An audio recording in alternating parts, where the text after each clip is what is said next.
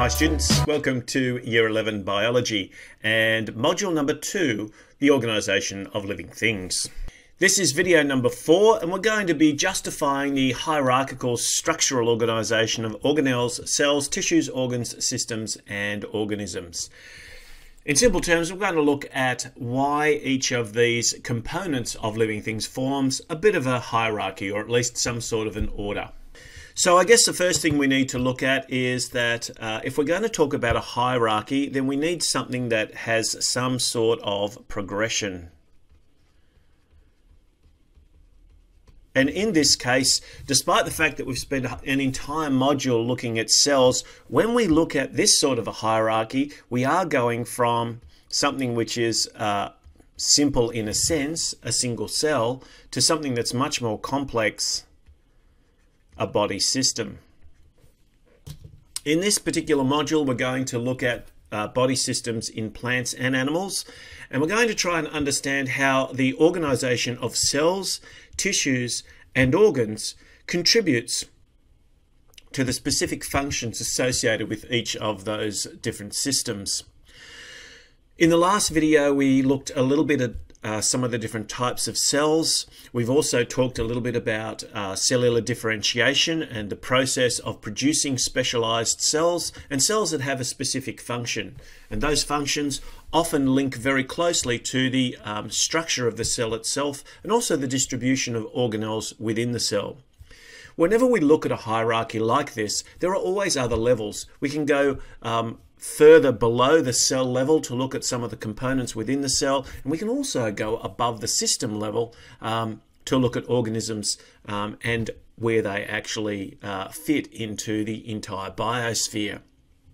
The important thing, I think, um, for you to be looking at here in terms of this hierarchy is just understanding um, how we progress from a, uh, an understanding of cells, looking at different types of cells to understand uh, what type of cells they are and the differences between them, how those cell, cells group together to form tissues, how different tissues come together to form organs, and how different organs also work together as part of a broader uh, body system. So here's an example of something which is an even larger hierarchy than uh, the one that we previously looked at. Now, of course, um, if you know anything about atoms, you realize that um, just picking even atoms as a starting point is still arbitrary. There are things that are smaller than atoms. But we have to start somewhere. We have to try and understand that particularly in this topic when we're looking at some aspects of biochemistry, that is the interrelationship between chemistry and biology, or uh, more broadly, some of the important chemical reactions that occur uh, in biological organisms, then we do need to have an understanding of some of the important chemical compounds um, and also elements that are found in living things. So atoms, and there's a, there's a hundred, just a little over a hundred different types of atoms, combine together in a whole range of different ways to form a lot of compounds. And these compounds um, can fall into roughly two categories, the inorganic uh, salts mostly, and then the organic compound groups that we've looked at previously, which includes things like sugars, uh, fats, or lipids, uh, proteins, nucleic acids, and so on. When we start to put some of these chemicals together, we get these organelles. And you'll remember, um, for example, when we were looking at the uh, membrane, the cell membrane or the plasma membrane, we were looking at um, lipids, the phospholipid bilayer, um, and that lipid layer being interspersed with proteins, channel proteins, proteins that were part of maintaining the integrity or strength of the membrane. So different chemicals working together to produce um, a larger structure, like for example in this case a plasma membrane.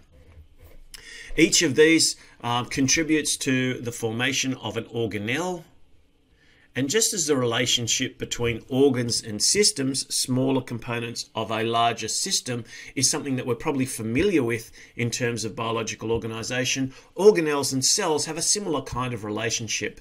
A, a cell, a large cell, if we want to think about the cell in that way, contains a number of very small organelles that are all critically important and that do a specific job.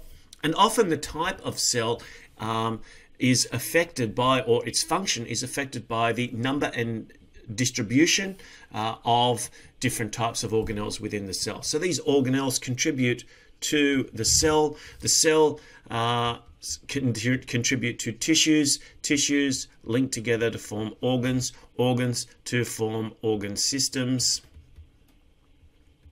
And of course, as I said, we could go on to organisms.